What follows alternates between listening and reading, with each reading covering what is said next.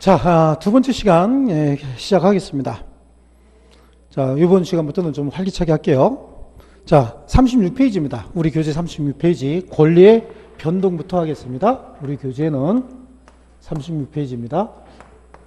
자, 여기가 우리 본격적인 시험범이에요. 그래서 권리의 변동이라고 하는데요. 권리의 변동이 뭐냐? 권리가 발생, 변경, 소멸하는 걸 권리의 변동이다 이렇게 얘기합니다. 줄여서 그냥 권리가 발생, 변경, 소멸하는 것 이걸 권리의 변동이라고 하는데 권리는 생물체가 아닙니다. 권리가 생물체가 아니기 때문에 스스로 자가 발전해서 발생, 변경, 소멸할 수는 없어요. 권리가 발생, 변경, 소멸하려면 뭔가가 원인을 제공해 줘야 된다라고 얘기를 합니다. 원인을 제공해 줘야 되는데 이 원인은 두 가지로 나누어진다. 오리엔테이션 할 때 제가 말씀을 드렸죠. 전 시간에 말씀드렸습니다. 오리엔테이션 할 때 모든 권리의 민법상 모든 권리의 발생, 변경, 소멸의 원인은 두 가지다. 그럼 공법상 권리는 똑같습니다. 공법상 권리도 둘 중에 하나인 거죠. 권리의 발생, 변경, 소멸의 원인은 법률 행위 아니면 법률 규정이라는 거예요. 법률 행위는 우리 어떻게 이해하자 그랬습니까? 법률 행위를 완전히 이해하기 전까지는 우리 계약이자 계약이다 이렇게 이해하셔도 크게 문제 없다고 말씀드렸습니다. 법률 행위 아니면 법률 규정이다. 둘이 계약을 해서 자기가 의도했던 권리를 취득하고 또 소멸하고 이동하는 현상을 발생 변경 소멸 변동이라고 했죠. 법률 행위 아니면 법률 규정이다라고 하는 거죠. 그러면 법률 행위가 있다라고 하려면 뭘 해야 되느냐? 자유로운 의사가 바깥으로 표시가 돼야 된다. 의사 표시에 의해서 법률 행위가 이루어진다. 자, 법률 행위의 가장 대표적인 모습이 계약이라 그랬잖아요. 여기다가 계약을 한번 법률 행위 하는 겁니다. 갑하고 을이 제가 이거 계속 그릴 겁니다. 계속 그릴 거고 그래서 이제 도해식 강의다 이렇게 얘기를 하는 거예요. 제 강의를요. 자, 갑과 을이 갑소요 이거는 부동산입니다. 시효가 아니고 부동산입니다. 부동산에 관해서 매매 계약을 체결했다라고 한번 해볼게요. 그럼 매매 뒤에는 계약이란 말이 항상 생략되어 있는 겁니다. 임대차 그럼 뒤에 계약이란 말이에요. 이게 계약의 종류 중에 하나거든요. 교환 그럼 뒤에 계약이 생략되어 있는 거예요. 그래서 매매했다, 임대차했다, 교환했다라고 하면 뒤에 항상 계약이 들어가는 거예요. 그럼 매매하려면 갑이 을에게 이렇게 얘기합니다. 내 집 2억에 팔, 살래? 라고 청약을 하죠. 그랬더니 얘가 2억은 싫고 1억 9천에 살게 라고 얘기하죠. 그럼 1억 9천은 좀 그렇고 1억 9천 5백을 좀 줘라 라고 했더니 그럼 1억 9천 5백 좋다 라고 오케이 했답니다. 그럼 이게 청약이라고 하는 의사표시고 이걸 승낙이라고 하는 의사표시라고 하는 거예요. 그래서 사실래요? 라고 청했더니 이쪽에서 사겠습니다. 라고 승낙을 했는데 사실래요? 2억에 그랬더니 사겠습니다. 1.9억에 즉 1억 9천에 그랬더니 청약하고 승낙의 내용이 달랐잖아요. 그러니까 협의 과정에 통해서 청약이 1억 9천5백 그랬더니 이쪽에서도 그럼 좋다. 1억 9천5백 좋다라고 했어요. 청약과 승낙이라고 하는 의사 표시가 내용도 일치했고 상대방도 일치했습니다. 이걸 합치했다라고 얘기하거든요. 내용과 상대방이 일치하는 걸 합치했다. 내용, 상대방 두 가지가. 그렇죠? 이러면 성립하는 법률 행위를 계약이라고 한다고요. 법률 행위를 했다라고 한다면 이렇게 의사 표시를 가지고 어떤 행위를 했다라고 이해하시면 되는 거거든요. 그래서 법률 행위가 있으려면 반드시 의사 표시가 있어야 된다라고 하는 건데요. 그럼 법률 규정에 의해서 권리가 변동이 될 때는 그래요. 법률 규정에 의할 때는 의사 표시가 아닌 기타 여러 가지 사실들이 법에 부합이 돼야 되는 거예요. 그럼 예를 들어서 어떤 분이 사망했다. 사망했다는 사실이 있었어요. 이건 의사표시가 아니잖아요. 사망한 건요. 그래서 사망했다는 어떤 사실이 하나 발생하게 되면 사망은 법률 규정에 있는 거죠. 사망하게 되면 상속권이 이루어 상속이 이루어집니다. 상속은 친족들에게 그래서 1순위 상속인이 누구고 2순위 상속인이 누구고 라고 하는 건 법으로 정해져 있어요. 1순위 상속인이 없으면 2순위 상속인이 상속권을 갖게 됩니다. 그네들의 상속 비율은 어떻게 된다라고 하는 건 법에 딱 정해져 있는 겁니다. 그래서 권리 변동의 원인은 법률 행위 아니면 법률 규정인 거예요. 법률 행위가 있으려면 의사 표시가 있어야 되고요. 법률 규정에 의해서 권리가 변동이 되려면 예, 의사 표시가 아닌 기타 여러 가지 사실이 있어야 된다라고 하는 겁니다. 그래서 권리 변동의 원인은 요걸 권리 변동의 원인이라고 합니다. 권리 변동의 원인. 여기는 권리 변동 원인의 세부적인 구성 요소들을 요구라고 얘기, 저 의사 표시하고 기타 여러 가지 사실들을 얘기하는 거예요. 그래서 요 권리 변동의 원인을 우리는 법률 요건이라고 불러요. 이 법률 요건이라고 하는 이 말은 학자들이 서로 합의에 의해서 이렇게 부르자라고 해놓은 겁니다. 제가 붙인 게 아니에요. 그리고 이 법률 요건을 구성하고 있는 개별적인 이런 사실들, 이런 사실들을 법률 사실이라고 얘기를 하는 겁니다. 법률 사실. 이 원인에 의해서 나타난 결과가, 이 원인에 의해서 나타난 결과가 권리의 발생, 변경, 소멸로 나타나는 거거든요. 그래서 이걸 법률 효과라고 부릅니다. 아, 여기는, 요거는 누구든지 똑같은 용어를 씁니다. 그래서 법률 사실에 의해서 법률 요건이 갖추어지면 그 내용에 따라 법률 효과가 나타나는 겁니다. 그럼 이제 하나하나 볼게요. 의사표시가 있었습니다. 청약이라고 하는 의사표시가 있었고 승낙이라고 하는 의사표시가 내용도 일치하고 상대방도 일치하니까 법률 행위, 계약이 성립했네요. 그러면 계약의 내용에 따라서 권리가 발생, 변경, 소멸하는 겁니다. 또 법률 행위 하지 않았어요. 의사표시 하지 않았습니다. 의사표시는 하지 않았지만 사망이라고 하는 어떤 사실이 있었대요. 그 사실은 법률 규정의 내용에 따라서 상속권이라고 하는 권리가 발생, 변경, 소멸하게 되는 겁니다. 그럼 사망자는 재산권이 소멸하겠죠. 그러면 상속인들은요, 재산권이 생길 거예요. 사망자의 재산권이 상속인에게 이동하는 현상을 변경이라고 한다. 이렇게 말씀드렸잖아요. 그래서 권리 변동의 원인은 둘 중에 하나입니다. 이런 것들을 갖추고 있고요. 그래서 법률 사실에 의해서 법률 요건이 갖추어지면 법률 효과가 생긴다라고 얘기를 합니다. 자, 요거를 시험에 혹시 나오면 여러분이 적응성을 높이기 위해서 제가 표를 이렇게 그려드립니다. 그래서 법률 요건과 법률 사실, 법률 효과의 관계를 이렇게 그려드리는데 이게 직접적으로 시험에 나오느냐? 나오기도 하지만 이거는 전체적인 민법의 틀을 공부하기 위해서 반드시 알아야 되는 게 이 표인 거예요. 그래서 여기다가 제가 권리 변동의 원인으로서 가장 중요한 법률 요건을 여기다가 적어 놓을 겁니다. 법률 요건을 적어 놓을 거고요. 법률 요건에 이게 화살표가 밑으로 이렇게 내려와야 되겠죠. 법률 요건에 세부적인 구성 요소들, 요소들을 법률 사실이라고 한다. 자, 제가 이걸 뭐라고 얘기했을까요? 권리 변동의 원인이라고 얘기를 했죠.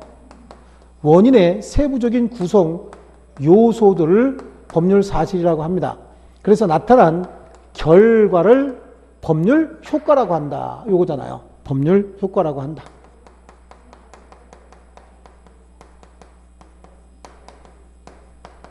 법률 효과인데 그럼 법률 효과는 어떻게 나타나느냐? 권리의 발생, 변경, 소멸이라고 하는 권리의 변동으로 나타나는 거죠. 발생, 변경, 소멸, 권리의 발생, 변경, 소멸로 나타난다 그런 얘기죠. 그럼 이 법률 요건은 몇 가지가 있느냐? 권리 변동의 원인은 몇 가지 있다 그랬습니까? 법률 행위 아니면 법률 규정이라고 얘기했죠. 그럼 법률 요건은 법률 행위 아니면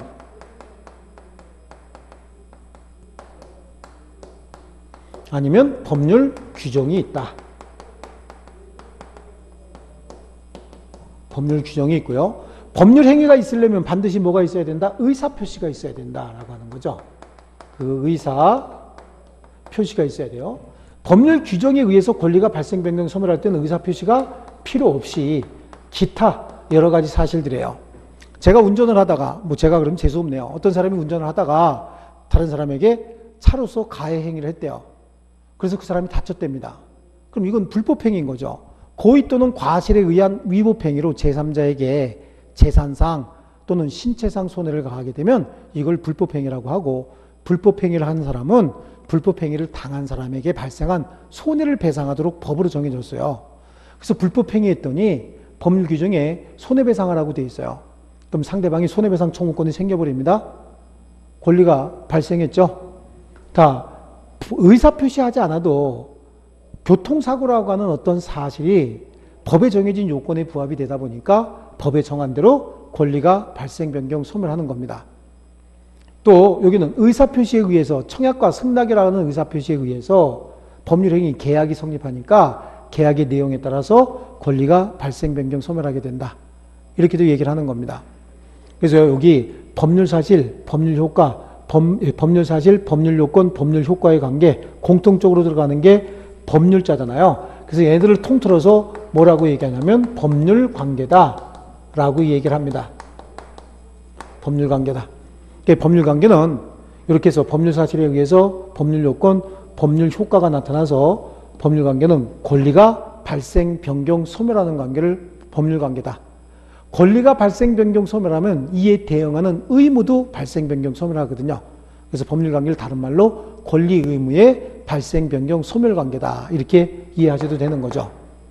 자, 이게 이제 권리 변동의 원인들인데 이런 원인들이 있으면 권리가 발생, 변경, 소멸한다. 몇 번 얘기하잖아요.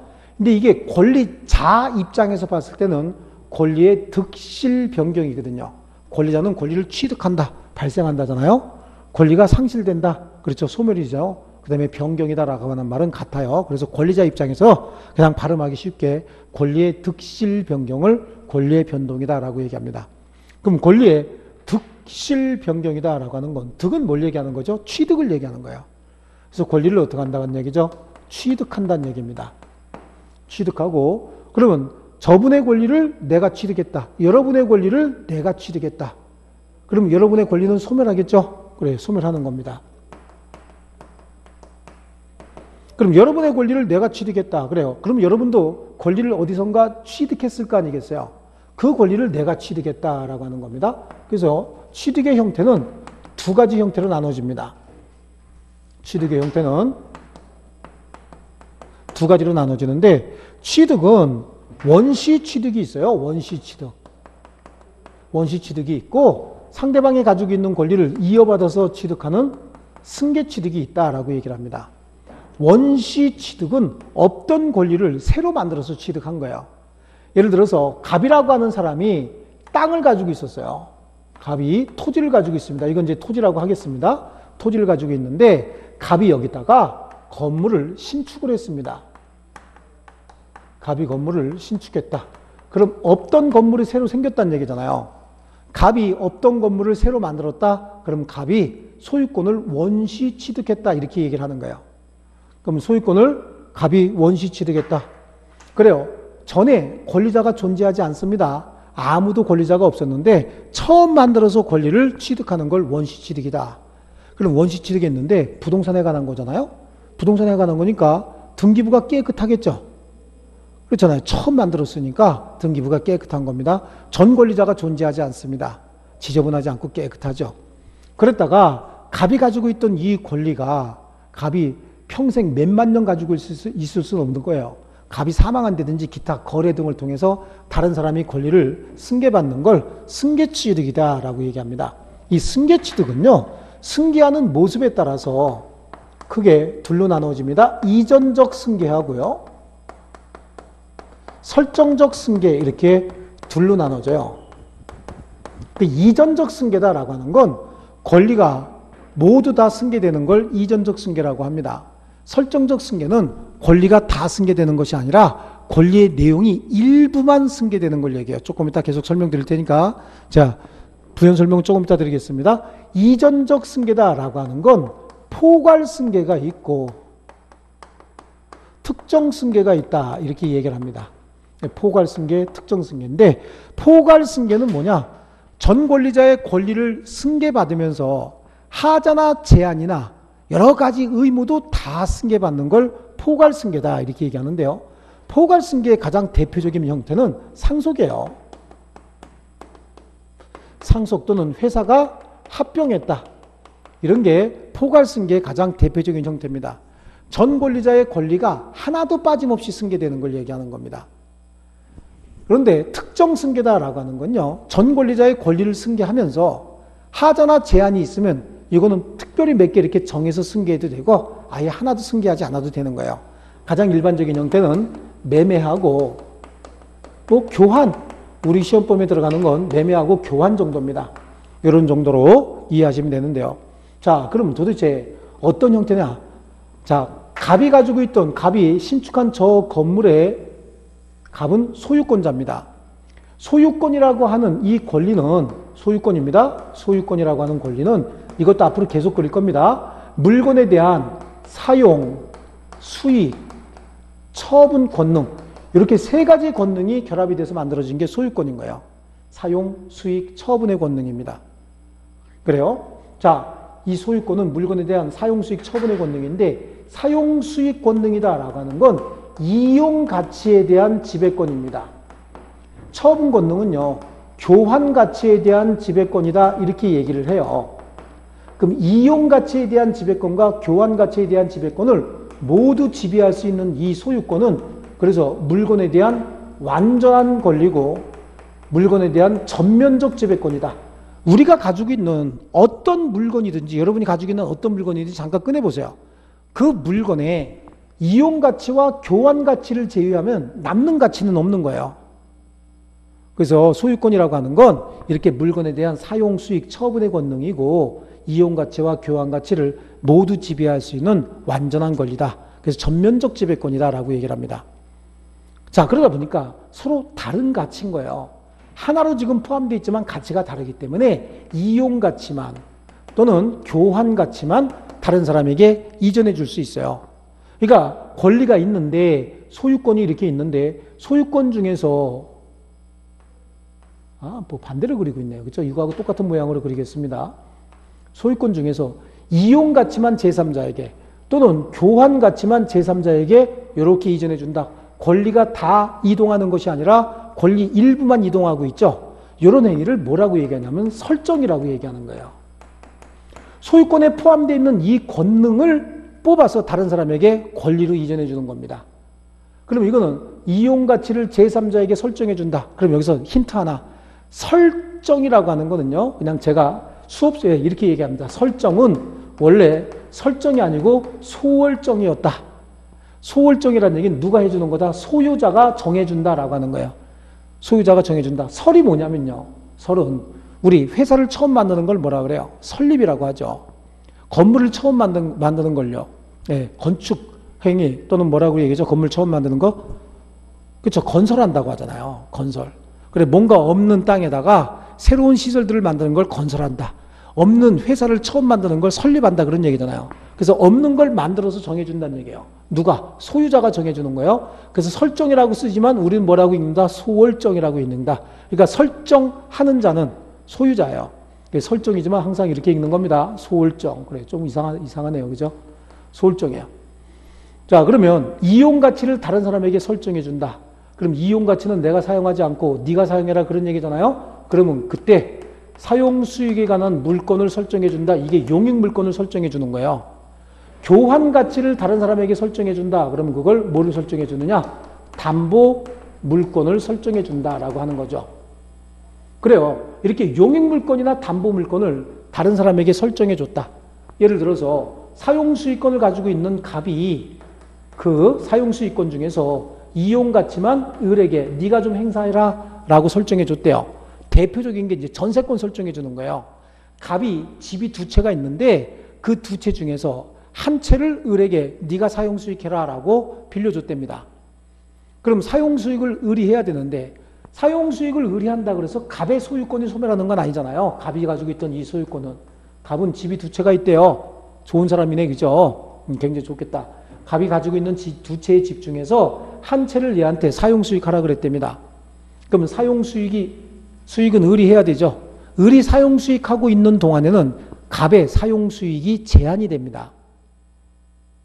그렇잖아요. 전세권자인 을이 사용 수익하고 있는데 갑이 나도 좀 사용 수익하자라고 쳐들어가서는 안 된다는 얘기입니다.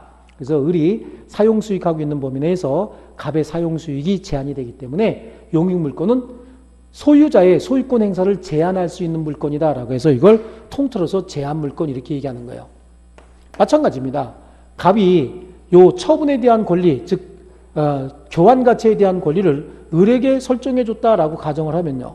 갑이 을에게 설정해 줬답니다. 그러면 교환 가치는 갑보다도 을이 먼저 행사할 수 있게 되는 거예요. 그렇습니다. 그러다 보니까 이렇게 교환 가치로서 담보 물건, 이용 가치로서 용익 물건을 설정해 주면 소유자가 자신의 소유권 행사를 제한받습니다. 그래서 이걸 뭐라고 얘기하냐면 제 제한 물건이다 이렇게 얘기하는 거예요. 이 제한 물건을 어떻게 준다? 설정해 준다. 이게 설정적 승계예요. 설정적 승계는 이렇게 제한 물건 설정하는 걸 얘기를 합니다. 그러니까 권리의 전부가 이전했다 그러면 이전적 승계, 권리의 일부만 이전했다 그러면 이걸 설정적 승계, 설정적 승계는 용익 물건이나 담보 물건, 즉 제한 물건을 설정하는 걸 얘기를 한다. 그렇죠? 이게 이제 승계입니다. 자, 원시 취득, 승계 취득했어요. 이전적 승계와 설정적 승계. 설정의 개념은 소유권을 가지고 이렇게 설명을 드렸습니다. 자, 이렇게 해서 갑의 권리가 다른 사람에게 승계가 됐다라고 하는 겁니다. 승계가 되면 갑의 권리는 소멸하겠죠.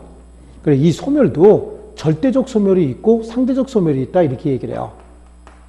그래서 갑의 권리가 절대적으로 소멸하는 경우도 있고 갑의 권리가 상대적으로 소멸하는 경우도 있다라고 하는데 절대적 소멸이다라고 하면 한 번 소멸한 권리가 다시 회복될 가능성이 없을 때 절대적으로 소멸한다고 합니다. 상대적 소멸이라고 하는 것은 한 번 소멸한 권리가 다시 회복될 가능성이 있는 걸 상대적 소멸이다 이렇게 얘기를 해요. 자 그러면 절대적 소멸이 뭐냐라고 하는 겁니다. 이 목적물을 제3자에게 팔았답니다. 그런데 그 매매 계약이 무효 취소 해제가 됐대요. 그러면 이전됐던 소유권은 전 소유자에게 다시 복귀하니까 이건 상대적 소멸이라고 해야 되는데 제3자에게 목적물을 판 게 아니라 낙뢰 맞아서 목적물이 완전히 멸실돼 버렸다는 거죠. 그럼 저 건물에 대한 갑의 소유권은 멸실로 인해서 완전히 소멸하고 다시 회복될 가능성은 없는 거예요. 이걸 절대적 소멸이다. 그래서 목적물이 멸실됐다. 그럼 목적물에 대한 소유권은 절대적으로 소멸하는 거고요. 만약에 목적물의 소유권 이전 등기가 됐다. 그럼 소유권 이전 등기가 됐으면 그 목적물은 나중에 매매 계약이 무효 취소 해제가 되면 법률 행위가 무효 취소 해제가 되면 전 소유자에게 자동적으로 복귀하니까 다시 소유권을 회복할 수도 있거든요. 이런 걸 상대적 소멸이다 이렇게 얘기를 합니다. 자, 그래서 절대적 소멸은 목적물의 멸실이라고 보시고 상대적 소멸은 요 이전적 승계나 설정적 승계를 상대적 소멸이다 이렇게 보시면 되겠습니다. 자, 그리고 이렇게 해서 발생, 그러면 뭘 봐야 될까요? 변경을 봐야 되겠죠? 취득한 권리가 다른 사람에게 이동하는 모습, 이걸 변경이라고 얘기한다 그랬죠? 자, 우리 예, 지면 관계상, 뭐, 요거는, 요거만 좀 지우겠습니다. 요거만. 이렇게 지울게요. 지면 관계상. 이렇게 권리가 이동하는 걸 변경이라고 합니다. 이 변경은 권리의 주체가 변경되는 경우도 있고요. 권리의 내용이 변경되는 경우도 있다. 권리의 작용이 변경되는 경우도 있습니다. 권리의 주체가 바뀐다는 얘기는 이거 얘기하는 거잖아요. 권리 주체. 이전적 승계요. 여길 갑이라고 하고 여길 을이라고 한다면 갑의 권리가 을에게 이동하는 거죠. 권리 당사자가 바뀌는 거예요. 갑이 사망해서 소유자가 상속인이 소유자가 된다. 갑이 소유권을 이전해 줬습니다. 매매를 통해서 소유권 이전해 줬다. 그럼 갑의 물건에 대한 소유자가 을이 된다. 이걸 권리의 주체가 바뀐다라고 얘기를 하는 거죠. 그래서 이전적 승계 이거 자체가 여기 얘기하는 권리의 주체의 변경에 해당합니다. 권리의 당사자가 바뀌는 겁니다. 권리의 내용의 변경은요. 권리의 내용의 변경은 둘로 나눠요. 그래서 권리의 양이 바뀐다. 그래서 권리의 수량적 변경. 내용의 변경입니다. 수량적 변경을 그냥 양적 변경이라고도 합니다. 권리의 성질적 변경이라고 얘기합니다. 권리의 성질적 변경, 이걸 질적 변경이라고도 해요. 권리의 수량적 변경은 요거 설정적 승계가 권리의 수량적 변경이에요. 그렇죠? 소유자가 가지고 있는 이렇게 세 가지 권능 중에서 용익 물건을 설정해 주면 이세 가지 권능은 이렇게 나눠서 설명을 드렸었잖아요. 이렇게 나눠서 설명드렸죠. 붙이면 이제 동그라미 하나가 되는 거예요. 이거를 제3자에게 설정해 줬다. 용익물권을 설정해 줬다. 그러면 소유자에게 남는 건 이거 하나밖에 없잖아요. 그런데 이 용익물권이 소멸했다. 그러면 소유자에게 다시 권리가 또 원만하게 회복이 되겠죠. 그래서 제한 물권을 설정한다든지 제한 물권이 소멸하게 되면 그 나머지 권리가 소유자에게 다시 회복이 되는 겁니다. 그래서 수적으로 양쪽으로 권리가 변경되고 있다. 그래서 이걸 수량적 변경이라고 얘기를 해요. 성질적 변경이다라고 하는 건요. 자, 물건의 성질이 바뀌었다. 권리의 성질이 바뀌었다는 얘기는 자, 이런 물건을 매수했어요. 매수해서 매매 대금 다 줬습니다. 도자기 같이 생겼죠. 그냥 도자기라고 하겠습니다. 고려 청자라고 할게요. 물론 이제 고려 시대에는 한글이 없었으니까 진품은 아니겠죠. 그래도 어쨌든 고려청자라고 써 있는 게 너무 멋져서 그냥 샀어요. 샀는데 돈까지 다 줬는데 매도인이 이 물건을 인도하다가 깨뜨려 버렸습니다. 매도인이 목적물을 깨뜨렸으면 깨진 물건을 가져갈 수는 없잖아요. 그러니까 물건에 대한 급부 청구권, 내가 돈 다 줬으니까 내가 매수한 물건을 주시오로 요구할 수 있는 급부 청구권이 깨져버리니까 이행 불능이 돼버렸죠. 이행 불능이 돼버리면 급부 청구권이 손해배상 청구권으로 바뀝니다. 손해배상 청구권, 손해배상 청구권 일곱 글자입니다. 일곱 글자가 즉 물건을 달랠 권리가 손해배상 청구권으로 바뀌었다. 근데 뭐가 성질이 바뀌었다는 거야? 그렇죠. 손해배상 청구권을 세 글자로 하면 손배청이 아니에요. 물론 손배청이라고 할 수도 있지만 한마디로 돈 내놔 이겁니다.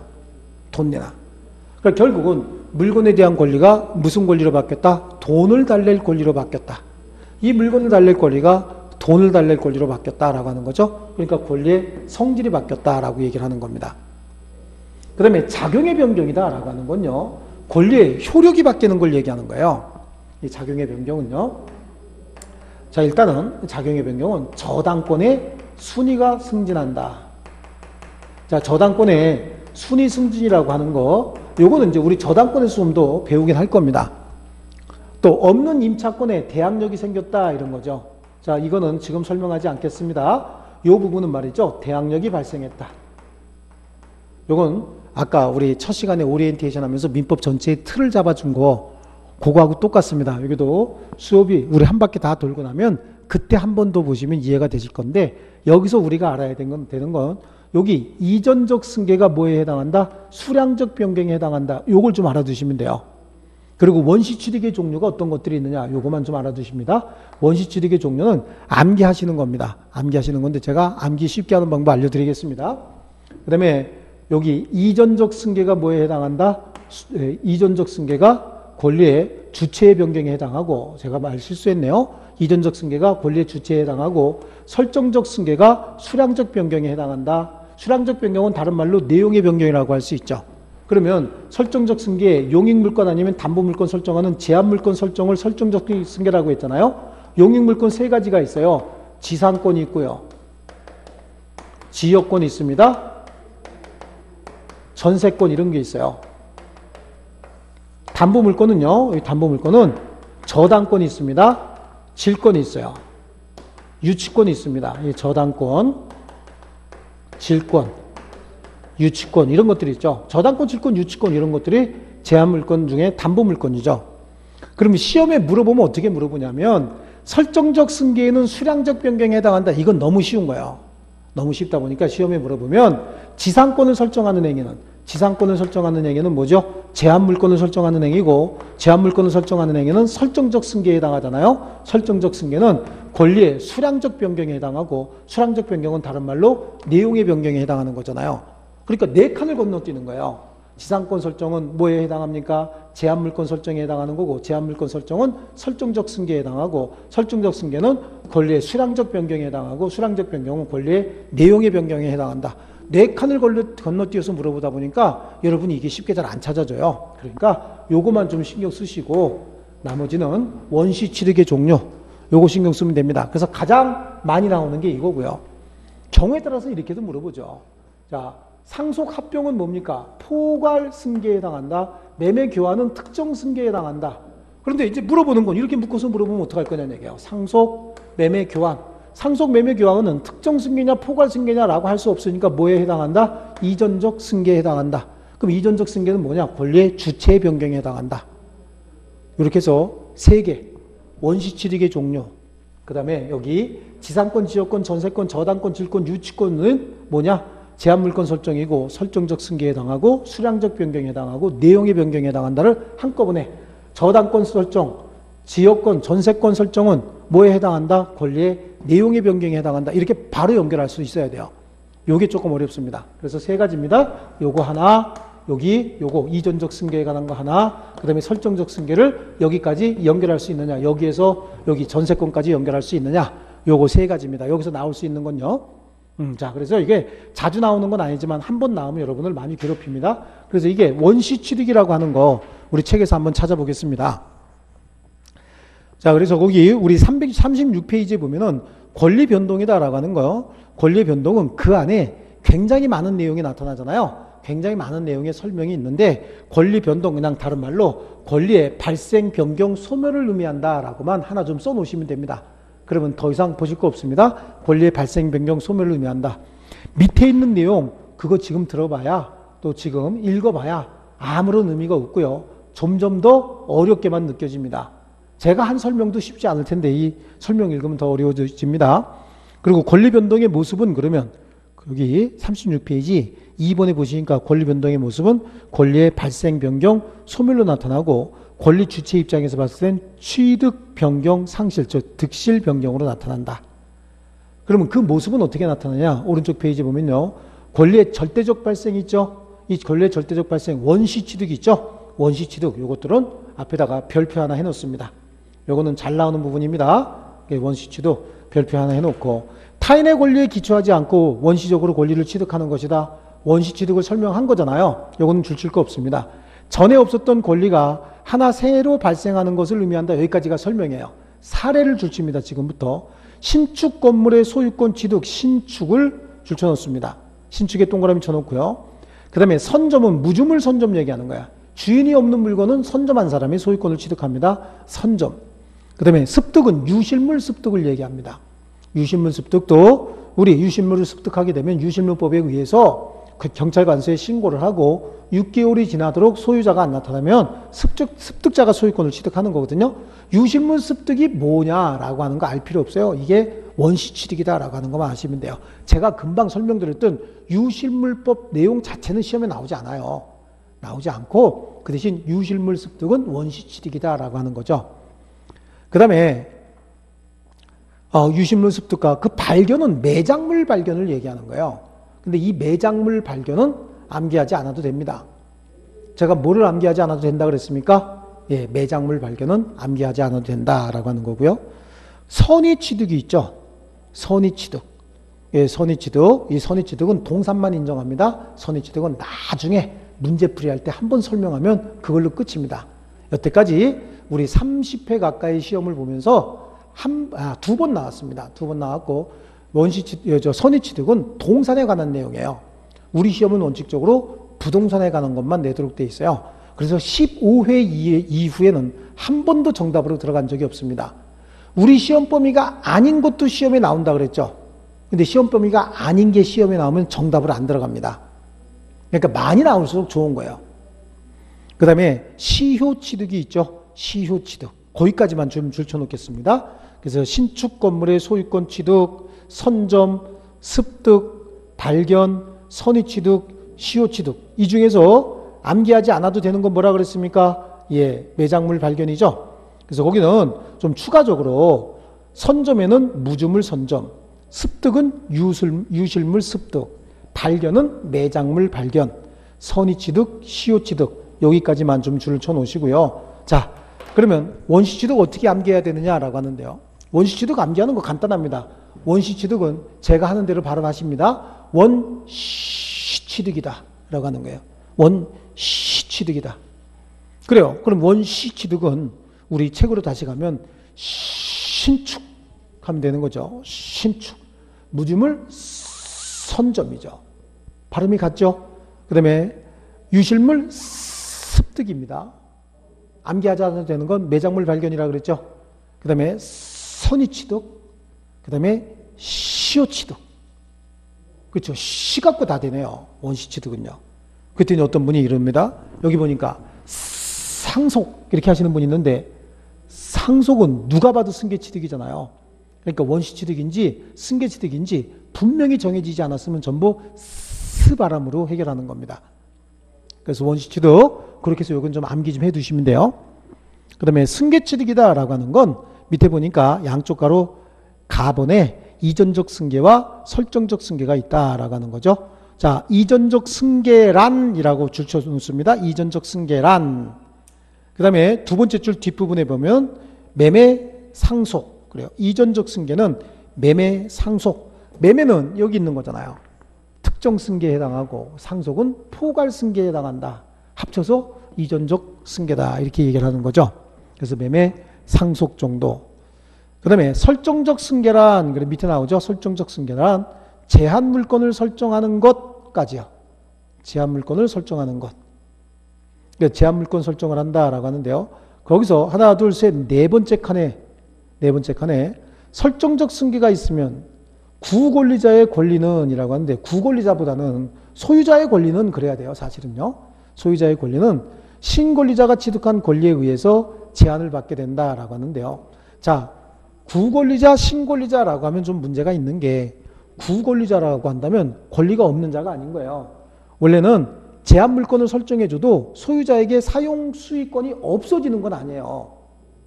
소유자의 사용 수익권이 이 제한 물건자에 의해서 제한이 되는 거예요. 그래서 전세권을 설정해줬다라 해서 소유자의 전세권, 사용 수익권이 없어지는 거 아닙니다. 일정 기간 동안 전세권자의 사용 수익권이 우선하는 거예요. 그렇기 때문에 소유자도 사용 수익권이 소멸하는 게 아니기 때문에 구권리자 이런 것보다는 그냥 소유자로 하는 것이고요. 그래서 거기 구권리자의 권리보다는 소유자의 권리는 신권리자가 신권리자는 제한물권자죠. 신권리자 그러지 말고 거기 제한물권자 이렇게 한번 바꿔주십니다. 제한물권자가 취득한 권리에 의해서 제한을 받게 된다. 그리고 그 예가 건물 소유자가 전세권을 설정하면 전세권자가 이용하는 동안 건물을 이용할 수 없는 것이다. 그러니까 이용하는 동안만 건물을 이용할 수 없는 거예요. 그래서 구권리자라고 하지 않습니다. 그래서 소유권자와 제한물권자 이렇게 나눠주면 되겠습니다. 예, 특정 승계, 포괄 승계라고 하는데 특정 승계, 포괄 승계 굳이 뭐 저기 있는 거고 크게 의미는 없습니다. 그 다음에 권리의 변경 중에 주체의 변경 말고 넘겨보시면 권리의 내용의 변경이 나와요. 이 권리의 내용의 변경은 질적 변경과 양적 변경으로 나누는데 자 거기 뒷부분 첫 번째 줄 뒷부분에 이제 또 줄칩니다. 질적 변경은 권리의 성질이 변경하는 건데 자 질적 변경은 거기 줄치시고요. 여기선 물건의 인도를 목적으로 하는 채권이 채무 불이행으로 손해배상 채권으로 변하거나 여기까지만 줄쳐 놓습니다. 그 다음에 선택 채권이라든지 뭐 물상대위라든지 물상대위는 이제 우리 뒤에 나오긴 해요. 물상대위는 나오는데 여기 권리의 내용의 변경이냐라고 하는 건 또 다툼이 좀 있는데 어쨌든 예, 물건의 인도를 목적으로 하는 채권이 채무 불이행을 이유로 금전 손해배상 채권으로 변하는 것까지만 좀 해놓으시면 되겠습니다. 이게 권리의 질이 바뀌었다라고 얘기했죠. 여기서 설명했잖아요. 질적 변경이요. 그래서 도자기 하나 그렸잖아요. 그 다음에 예, 밑에 보면 권리의 양적 변경 밑에서 세 번째 줄이죠. 권리의 양적 변경은 그래요. 예, 권리의 양적 변경은 바로 밑에 소유권의 제한 물건이 설정되거나 전세권의 존속기간이 연장, 채권이 일부 변제 이런 거 하지 마시고 소유권에 뭐가 설정이 된다? 제한 물건이 설정된다까지만 추천 오시면 되겠습니다. 자, 작용의 변경은 특별히 보지 마시고요. 권리의 소멸도 특별히 보진 않겠습니다. 자, 그러면 오른쪽 페이지 보면 권리 변동의 원인이 나오죠. 권리 변동의 원인은 요거예요, 요거. 권리 변동의 원인을 법률 요건이라고 하고 이 법률 요건의 세부적인 구성 요소를 법률 사실이라고 한다. 이 법률 사실은 의사 표시와 의사 표시가 아닌 기타 사실로 나누어지고 의사 표시에 의해서 뭐가 법률 행위가 만들어진다라고 하는 건데요. 요 표 하나 그려 놓으시고요. 거기 있는 세부 내용 안 보셔도 관계 없습니다. 제가 책임질 테니까 요표 하나 그려 놓으시고 요 표는 반드시 여러분이 집에 가서 20번 이상 그려 보시든지 완벽하게 누가 뭐라고 안 해도 자다가 누가 건드려도 벌떡 일어나서 완벽하게 그릴 수 있을 정도까지 표를 그려 놓으셔야 됩니다. 그래서 법률 사실에 의해서 법률 요건이 갖춰지면 법률 효과가 나타나는데 그 법률 효과는 권리의 발생, 변경, 소멸로 나타난다.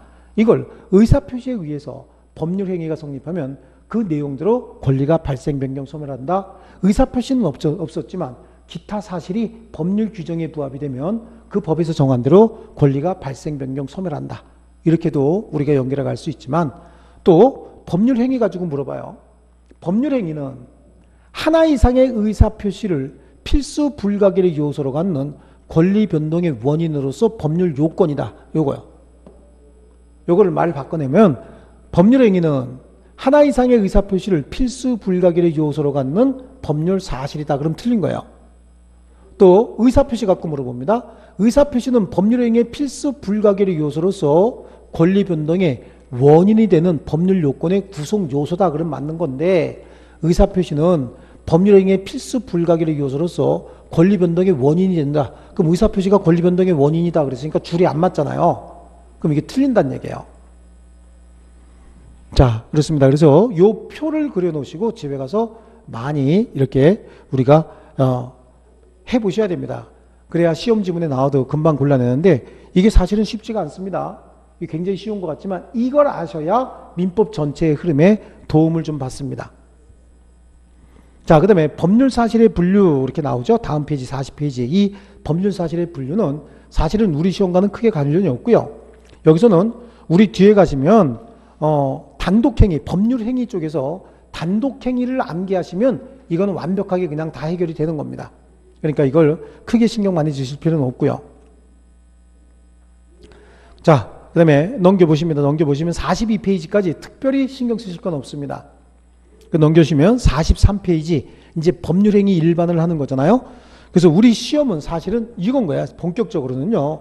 이 법률 행위가 우리 시험범위에요. 법률 규정에 의한 권리 변동 우리 시험 범위 아니라 그랬잖아요. 그래서 민법 정칙 중에서 법률 행위에 관한 것 어디서부터 103조부터 154조까지가 우리 시험 범위죠. 이게 법률 행위에 관한 내용입니다. 이거는 지금 법률 행위를 배우기 위해서 체력 단련한 거예요. 체력 단련. 그리고 원시 치력은 암기해 두셔야 됩니다. 그리고 내용의 변경 그 저쪽에 설정적 승계에서 이렇게 연결할 수 있는 거 여기까지 좀 나, 에, 공부를 좀 해 두셔야 되고요. 이쪽은 이해도 필요하지만 암기도 반드시 필요한 부분이고요. 예, 우리 쉬었다가 43페이지 법률행위 일반 여기 하겠습니다. 조금 쉬겠습니다.